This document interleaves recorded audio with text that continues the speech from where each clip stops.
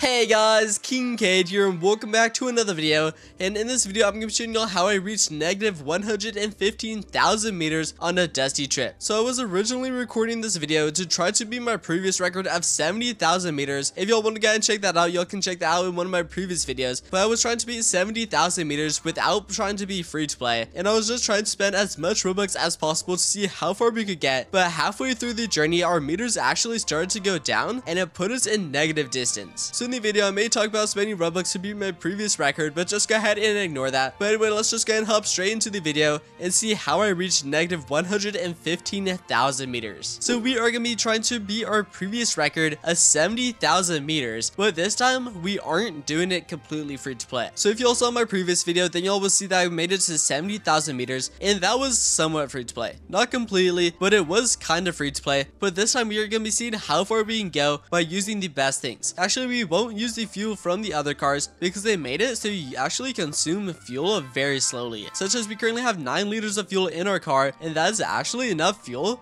for us to make it all the way to 15,000 meters. But anyway, we are going to be mainly looking for a V8 engine though, because the V8 engine is very good now, especially since it doesn't use too much diesel, so hopefully we can find one of those. Well, anyway, we finished building our car, so let's go ahead and attach that. So, so far we are free to play, but if we die, we are going to revive just to see how far we can go. So we are going to be stopping at almost every building we see, mainly because if we find a better engine, that would be good, but we're also looking for a brand new radiator, because they added a new radiator that holds three times times more than our current one. So if we can find that, that would be very helpful. We now made it to 5,000 meters and we haven't stopped at all. And we aren't planning on stopping now, so we haven't stopped at any buildings yet. Mostly because we haven't found any good ones. But anyway, let's go ahead and quickly pass the bridge. And not gonna lie, this is probably the fastest I ever made it to 5,000 meters because we didn't stop at all and we were like zooming that entire way. But anyway, let's go ahead and see if we can make it all the way to 10,000 meters without stopping. Because if we are able to, then I think that might be a record. And alright, we were actually barely able to make that jump. And were we even able to make actually? Alright, let's go ahead and see if we can push ourselves back. I'm not sure if this wheel is like helping us or not helping us, but I don't think it is. So let's try to remove that one. And I don't even know how we didn't make that jump. I thought we were definitely going fast enough. But anyway, let's also remove this wheel because I think this wheel is actually stopping us. And now let's go over to the corner. And if we fall, I think we do die. So hopefully we don't fall. And there we go. I think that should be good. Let's go ahead and push on this side just a little bit more. So let's go over here and let's try to push it this way. And I did forget to close my gas tank, but that's alright. I don't think we're gonna get a record for getting to 10,000 meters super fast anymore, but we were able to get to 5,000 meters pretty fast. We also do need a new engine. This one is starting to get very slow, especially with all the hills. But anyway, let's go and keep looking for buildings. Unlike that one, this one is one of the bad buildings that we don't want to stop at. So hopefully we are able to find some good ones. We're now at 6,000 meters and we finally found a good building. So a double garage, this is like one of the best. Anyway, let's go and open it up, see if there's anything good.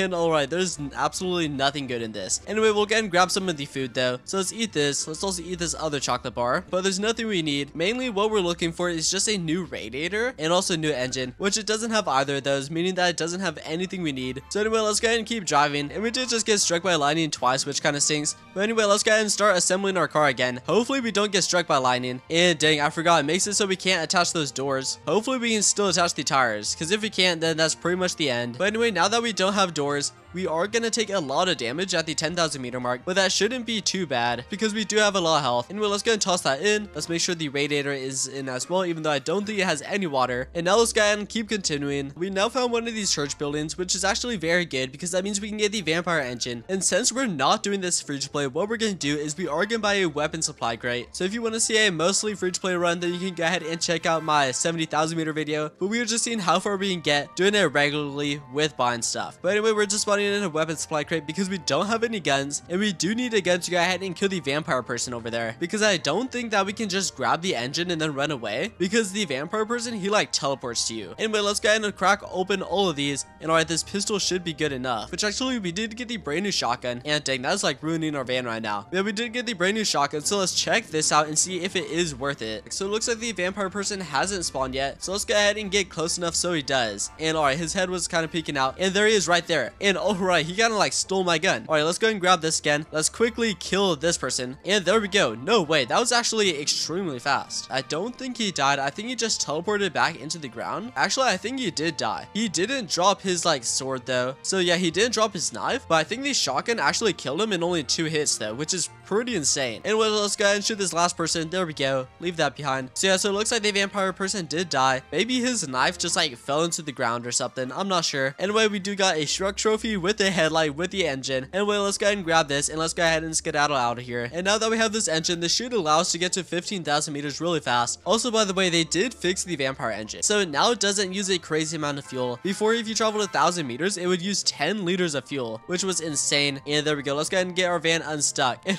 hopefully it doesn't tip over. And there we go. These other stuff did despawn. Let's go and push that over. And now we can go ahead and swap out our engine. We now have the vampire engine in. Let's go ahead and run away now. And we're already going a lot faster than we used to. That's much nicer. Also, by the way, I am leaving the weapons behind because taking all those weapons feels a little too much like cheating. So we're just going to leave them behind, but we are taking the engine with us. Anyway, let's go and keep going though. And yeah, this engine is already so much better. We are still going to swap it out with the V8 engine because this engine, I went ahead and tested it before and it doesn't really work with the radiator. The radiator does work a little bit with it, but this engine overheats way too fast. So even if we do have water in the radiator, it will still manage to overheat. We're now on our way to 10,000 meters and I did just find an upgraded radiator. So we tossed out our old one and here is the brand new one right here. So this holds 15 liters of water, which is much better. And there's also some other weapons such as this RPG. We'll go ahead and take it just so we can test it out one more time at the 20,000 thousand meter mark, even though I don't think it's gonna work. Anyway, let's go ahead and eat this last piece of food. There we go. And now let's just go ahead and continue driving. We're now at the 10,000 meter mark. So let's go ahead and start to slow down. Let's make sure we watch out for this dude and we watch out for the rock. So there we go. Very easy to pass that dude. So we don't need to worry about anything on our car getting destroyed because we don't really have too much. All we have is the RPG and some tires on each side. But other than that, we don't really have any resources. So driving through this area should be pretty easy. We shouldn't really take too much damage because we are going fast enough. And we managed to get through that area with only taking a little amount of damage. So now we're pretty much chilling. And now we should also get to the 15,000 meter spot Uh, pretty quickly. And it looks like the solar eclipse event is actually happening right now. So let's ahead and hop out of our car. And there it is right there. That is actually insane. And let's see if anything happens. I don't think anything does. Some people says that it starts damaging you. And there it is. And yes, it does. All right, it does start damaging. So I think it's only if you look at it. So let's look down. Now let's go ahead and look at it. And yeah, it only damages you if you look up at it. That is quite strange. So that was a pretty cool event. Nothing really happens though. It pretty much just covers the sun. And then if you look at it, it starts damaging you. Yeah, it did go ahead and pass. So we might as well just continue our journey now. We did crash and it did flip all the way over and I didn't realize that I had nothing on the roof. But luckily we did crash next to a double garage. So I was able to find some dynamite. So I tried pushing it over, but it's like nearly impossible to push it over by hand if you have nothing on the roof. So hopefully this piece of dynamite right here can flip it over. So I tried using the RPG to flip it over. That did not work. But anyway, let's go ahead and light it, place it down, back up, and hopefully this works. And alright, it actually kind of did. So what we can do, let's actually go ahead and remove this. So it is kind of out of slant, but now since it's out of slant, maybe we can push it over. And I think we just messed it up. And it's pretty much no longer out of slant. Also, I forgot to take the wheels off. So now the wheels like blue everywhere. I think there's one over there, one right there, one all the way over there. So that does kind of stink, but hopefully there are some more wheels in the garage over here. I've now been trying to flip over the van for quite a while. I even used dynamite like three different times and it wouldn't work. So I just kept calling in supply drops. I called in three more supply drops on top of the three that I called earlier. And one finally flipped it over. So flipped it over onto its side. But now from here, we do have to flip it over even more. And there we go. Let's go. Awesome. So that is actually perfect. I've been trying to flip it over for like maybe like 20 minutes now. But anyway, now that we flipped it over, we can go ahead and start tossing all these things back in. And now we can continue driving to 15,000 meters. We now made it to the 15,000 meter mark, which is awesome. So let's go ahead and stop here. And yeah, we went way too far. So let's go ahead and back up a little bit. And there we go. So now let's go ahead and remove this engine though, because this engine is not very good. I wouldn't say it's as good as the V8 engine. It does go fast, but overheats even though we do have water in our radiator. Yeah, we still have 10 liters of water and it constantly overheats pretty often. So let's go ahead and grab the V8 engine right here. And let's also go ahead and empty out all of our gas. We only have 0.3 liters, so it's not that much. But anyway, let's go ahead and take this wheel off. And now we should just be able to push it over. There we go. Empty out the gas. And now we can go ahead and fill it up with diesel. We now finished fueling up our van with diesel, attaching all the cans to it. And then yeah, so let's go and continue the journey though. So now the next area that we're gonna stop is 20,000 meters. And I accidentally just drove into a tornado. So that was pretty unlucky. Anyway, let's hop out and all of our wheels are gone. So luckily our engine is still right there. is our radiator, and no, our radiator is gone. So we have a wheel right there, right there, right there, and over there. So we do know where the wheels are, and I think that's the radiator all the way over there. So I'm gonna go ahead and collect the ones far away while I wait for the tornado to despawn, and hopefully it doesn't continue picking up the tires. And no, it picked up my car once again. Alright, but hopefully it doesn't fling it too far. And I think it's actually bringing it closer, and no, it's like pretty much in the same position. I don't think anything else fell off of it, which is good. For now, I'll just gather everything in a pile so it doesn't get caught up by the tornado again.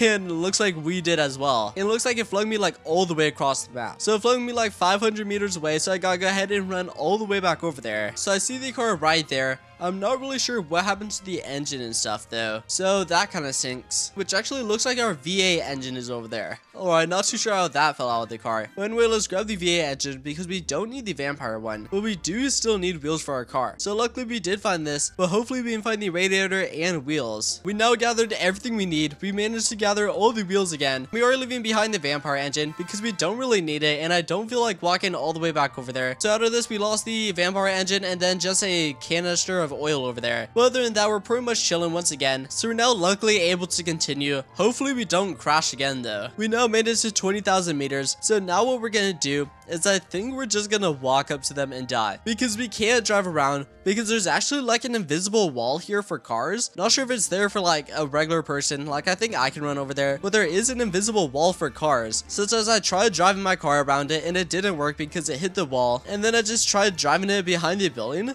but then it actually glitched out and broke. So anyway, I'll go ahead and try my best to just run past them, see if there's anything we can find. So let's go ahead and run over here. So let's see if there's any dynamite, but if there's not any dynamite, then we're pretty much just done for. And yeah, there's absolutely nothing over here we can use. I guess we could use this bowling ball and never mind. But if y'all didn't know, if you die and then if you go ahead and respawn, they all just like disappear. If we go ahead and land on the map and alright, I thought we were about to fall into the void. But anyway, if we go ahead and run up here, as you can see, they all just despawn, which is kind of strange. But that's a tip that you can use. You do get one free revive every day. So I recommend using it over here. So anytime you get to 20,000 meters, just go ahead and die and then they'll all despawn. Because if you guys join their group, you do get a free revive. So pretty much anyone can do this. But anyway, we're just gonna go ahead and drive straight through this now because we don't need any of the loot from there because we're already stacked up on everything else and we have enough diesel to last us until like 500,000 meters. So we don't need to collect any of the stuff over here. So we're just gonna go ahead and drive straight through it just like this. And now we're just gonna go ahead and continue our journey. So there's no more big obstacles like that. And dang, the road was slippery right there. Yeah, there's no more big obstacles like that. So now all we have to do is avoid tornadoes and such. And now we should pretty much be good to travel as far as we want to. We now passed 50,000 meters and we're still doing pretty good. I haven't fueled up our car at all since the 15,000 meter checkpoint. So that's pretty surprising. And I was gonna stop for food, but it looks like there's absolutely no loot there. But we need to go ahead and stop for food. My hunger has been going down extremely slow though. I'm not too sure what happened to it, but it usually goes down really fast. But it's been going down a lot slower recently. But anyway, there is a building up here. So we'll go ahead and stop here. We'll see how much fuel we have left. And then we'll also go ahead and grab some food. So let's see how much water. So we still have 3.9 liters of water. And we still have 17.2 liters of diesel. And then we still have 2.9 liters of oil. That's pretty surprising because we haven't fueled up at all since the 15,000 meter checkpoint. So we're doing pretty good right now. Anyway, let's go and see if there's any food in here. There is this, which is pretty nice. And nice. There is some bread and some chocolate back here. And let's see if there's anything else. And uh, nothing else in here. Kind of stinks. Well, anyway, let's just go and keep driving and reach 70,000 meters. We now made it to 50,000 meters once again. So we are kind of like stuck in this cycle right now where our meters just keep going down. We are still going the right way. I made sure. So we're going the right way. But for those who don't know, there is like this glitch where we'll start subtracting your distance. So that's what it's doing right now. But I spent so long doing this, so I'm just gonna see if there's an end to it. So I'm just gonna go ahead and keep following this way until I reach maybe like 20,000 meters and I'm gonna see what happens. We now reached less than 20,000 meters and it looks like we didn't find another ghost town, which is kind of surprising. I kind of thought we would find another one. But anyway, we're still going into the negatives, which is very surprising. So we went from 58,000 all the way to 20,000 and it's still going down. Also, by the way, we are on the right path because as you can see, the telephone poles are on the right. So I think what we're going to do is we're just going to go ahead and keep driving and see if we can get into the negatives. Because if hit zero and then start going into the negatives,